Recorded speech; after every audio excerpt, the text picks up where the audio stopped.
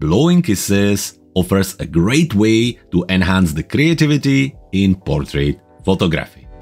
You can use confetti or different particles, but sometimes it can be a little bit tricky to capture it in camera. So, if you're wondering how you could create that using Luminar Neo, then today's tutorial is exactly what you need. Okay, so moving into Luminar Neo, where we're starting in the catalog module, looking at our sample files.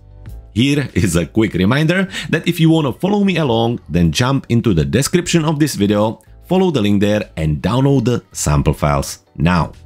Now, as a part of the folder, you will get two images, one with the lady blowing the kisses on the right here and one towards us. So we're gonna be creating the two effects. As a part of it, you will also get two overlays, both of them with different effect, and you're more than welcome to keep them and use them on your own images. However, they are part of our romance bundle, and if you're looking for more similar elements, like the blowing kisses, kisses, hearts, and so much more, then definitely check out the romance bundle by following the link in the description of this video or visiting our website cleverphotographer.com. Anyway, back to our project. When you're ready, import the two ladies and let's select this one first and move the image into edit module. In the edit module, as we working with overlays, we're gonna be focusing on the layers panel. First, we need to import our overlays. So we're gonna click on the plus sign and here we're gonna click on load image. With this, navigate towards the sample files where you see the two images as well as folder called overlays. So open it, select the first one and click on open. And since we already here, let's click on load image again, select the second overlay, click on open and import it too. So now in my images section, we have the two overlays. Now we're going to select the second, the one which blows the kisses on the side and click on it. By doing that, very quickly it will appear on our layers panel on the top. Now we have this layer selected, you can see it as it has the orange selection of frame around it in the layers panel as well as on the image. Now you can see that it's a little bit transparent and we can adjust this very easily by going into the layer properties and increasing the opacity slider. But more importantly than the opacity, you can see that it kind of goes the wrong way, right? So we can very easily flip this by going back to layer properties and under the blend modes, we have an option to flip it horizontally or vertically. So we need the horizontally. So let's click on that and do that part. After this, we can zoom out a little bit. Let's do that. And then we're gonna just drag the kisses and position them wherever we think it looks properly. Now we can make it just a little bit smaller, I think somewhere around here. And what we wanna do, we wanna take this part where there is the lots of kisses and they are kind of flat and make it look like it's on her hand. So I think something like this. And the rest of it we will mask out. And of course, whatever is falling out should be kind of going out of her hand. You can also rotate the layer by going outside of it and when it happens you will get this little two arrows and you can rotate it around. So maybe that's a good idea. Let's do that and position it, let's say right about here. Once we have it positioned right, we can then go into the masking. In the masking, select the brush. With the brush, we want to be on erase as we want to erase specific part of the overlay softness down on 10, strength on 100, and with the size, well, let's just bring it down a little bit. Now, we're gonna zoom in, again, using Command or Control plus or wheel on your mouse. And once we're here, we can still adjust the brush using the bracket keys. And let's remove some of these hearts and particles from here. So at the bottom, maybe somewhere around here and here as well. Let's have a look maybe further on this part. Let's have a look. This is maybe a little bit too much. So we can switch the brush back to paint, zoom in a little closer, and let's say that we're going to paint this part back. So something like this, we can still remove some parts if we feel like it doesn't look right. Maybe just a little bit more here. And I think that's about it. If you think that this one doesn't fit there neither, we can always switch the brush back to erase and very easily erase it. So that is erasing. But what about if we would like to add some extra hearts around to fill up a space or do something else? Well, how do we do this? Well, we're gonna close the layer properties for now. And while we still have the hearts selected, we're gonna scroll down all the way to the professional tools. In the professional tools, we're gonna look for the clone tool. And once we open it, it will give us a message or prompt to click to set the source. So let's say that we like these hearts here and maybe we would like to add them in this location. So very simple. Let's just click on the top of the white heart. And once we do that, we have selected the area and we can now paint somewhere else and add them. Coming back to the tool, we can adjust the settings here, adjust the size, bring it down a little bit. Softness, we can keep on 100 or bring it down just a touch, somewhere around 80 and strength, definitely keep it on 100. So where do we add the hearts? Let's say here, let's just click once. And from that point, we can very easily add these hearts here. If we would like to add uh, different hearts to different location, uh, let's say that we zoom in.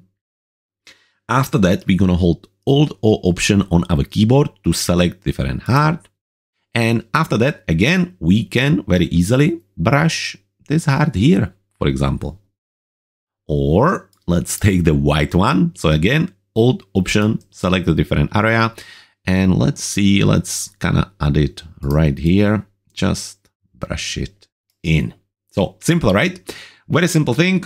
Keep using Alt or Option to select or sample the area and then just keep brushing quick look at the before and after, and we are done adding the hearts. Now, finally, looking at the image, it has that kind of pastel pink feel. She also wear pastel pink sweater and other elements. So let's change the color of the hearts a little bit closer to her overall feel or the cloth.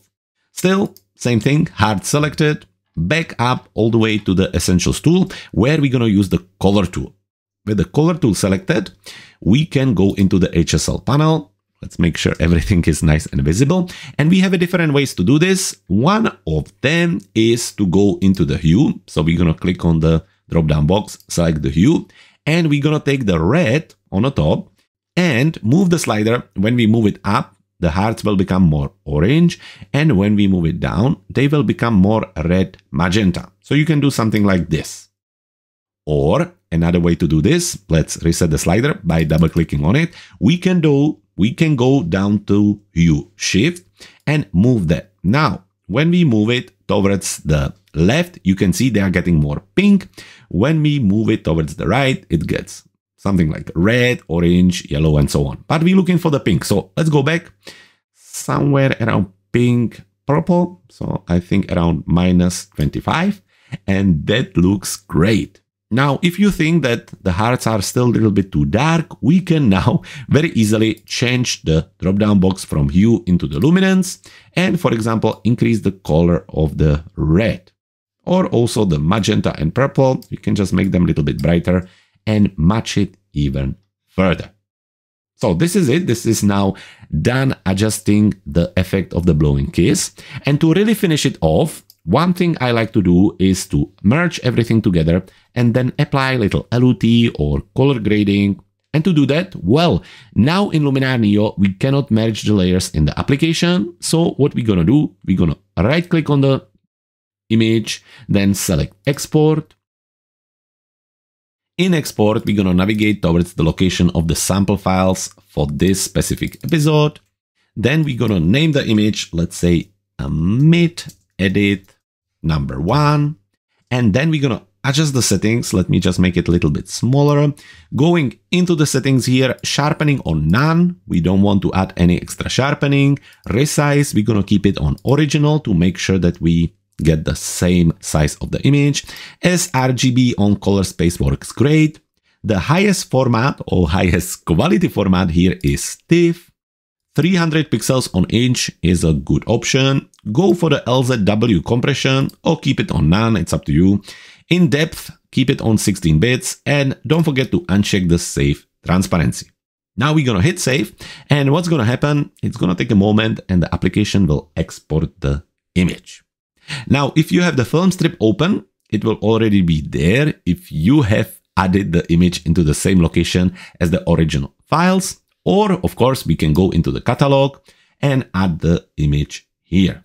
So remember, mid edit, this is how we called it. Now we can bring it back into the editing module where we can do multiple things. One of them is going into the creative tools and for example, open the mystical tool and add a little bit of cinematic glow to the image. So to the person as well as our heart. Then we can close it. After that, we can add additional glow to the heart. So let's open the glow tool. From the drop-down box, let's select the Orton Effect Soft and just increase it. Let's see how that works. That is a little bit too bright, so let's switch it into traditional Orton effect. Or maybe just a soft focus. What do we like? Maybe the soft focus. We do that. And what we can do, we can actually turn or switch on the masking, select the brush, make a nice big brush, somewhere around 260, adjust the strength down to, let's say, maybe 25. And now, wherever we go into brush, the effect will appear. So one quick click, which will switch off the effect from everywhere. And now just very gently brush over the area of the hearts. I think something like this. That looks good. We can close the glow tool. And as I said, to finish it off, quick color grading using the mood tool. So let's just open it. Let's click on the choose LUT drop-down box and let's pick one of the LUTs that come with the application. For example, the cinematic toning. Hover over them and see which one you like. I quite like the Long Beach. Let's have a look. Or maybe the Palm Springs. Well, let's go for the Palm Springs.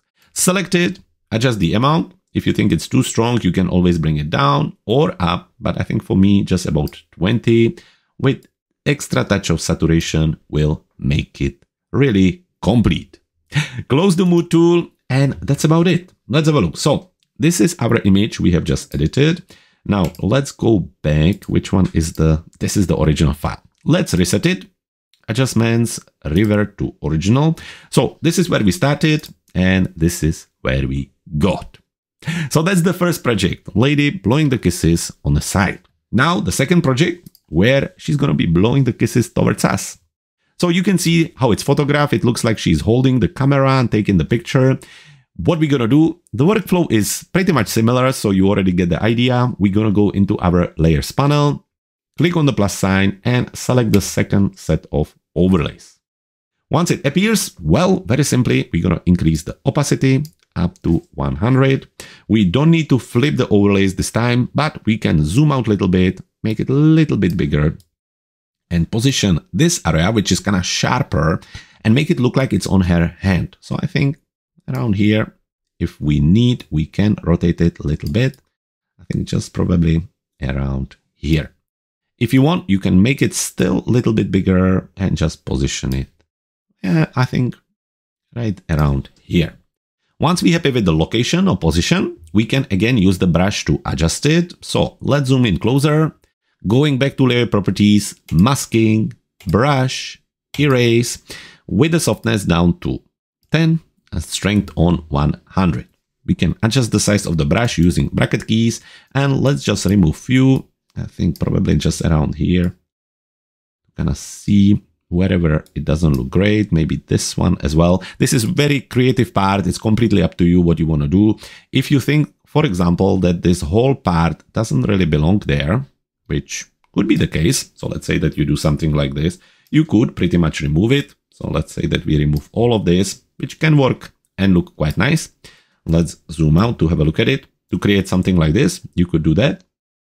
Or of course, you can always bring it back again by switching the brush back to paint, making it a little bit bigger and just brush back all these areas. It's up to you. Really, as I say, it's very individual, whatever you like to do. So let's just remove first few right here. I think that at least the white part, just to make it work a little bit better, I think something like this. Better. Perfect. Just a little detail to bring it back. and that's about it. Now, do we need some extra? Maybe just here uh, and a little bit here. So again, we know what to do. Close the layer properties, down to clone tool, ah, not zoom out, back in, down to clone tool, select the clone tool. Let's select, so there's white one, so let's add red one. So let's say that we're gonna select this part and just brush it right in. Although option again, let's see, white one, I think around here, and brush it right here. One more red, maybe right around here. That looks good as well. Mm, one more white, maybe one more white, just to this area. And one more red here. So sample the red here and paint it here. Uh, do we want one more white here? We can. One more time, auto option by sampling the area and then just brushing it here. That's about it. We can clone or close the clone tool. And again, we can adjust the color of this specific overlay. Well, we're going to go through it one more time. Color tool.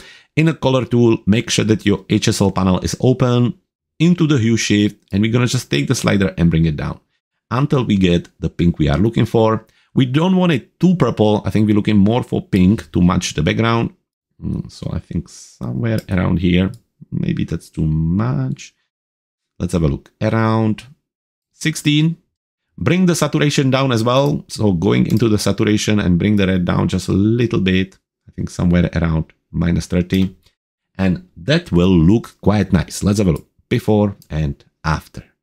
To finish it off, you know what to do. We're to right click on the image and select export. This time again, call it mid edit this time number two. The settings is already saved. Just don't forget to unclick on uncheck the save transparency and hit save. With the image exported back to the catalog where you're going to select it, bring it into edit module where again, we have a different ways how we can enhance it. So let's say that we're going to apply a little vignette. So vignette tool in essentials panel down to somewhere around minus 40 and also going into advanced settings and adding a little bit of inner light in the center. And then again, going into the creative section, mood tool, in the mood tool, click on choose LUT into the cinematic toning. And let's see, maybe the Bakersfield on this one with a little bit of extra warmth can look quite nice. Closing the mood tool and we are finished. So similar idea, back to our film strip where we're to select the original sample file, reset the settings back to revert to original, and this is where we started, and this is where we ended. So, our overlays with blowing kisses available here. As I said, if you want, you're more than welcome to use them on your own images and your own projects. And if you want to see more of similar idea and similar content, check out our romance bundle again by following the link in the description of this video or heading to our website cleverphotographer.com. So this was another romantic edit. However, we have much more than this available on our YouTube channel. We have a full playlist of romantic or romance edits available for you to watch and continue learning. And even more so, on our YouTube channel, we have a video for every single tool in Luminar Neo. So if you ever get stuck or you need to refresh yourself, then head to our YouTube channel, Clever Photographer, and continue learning now.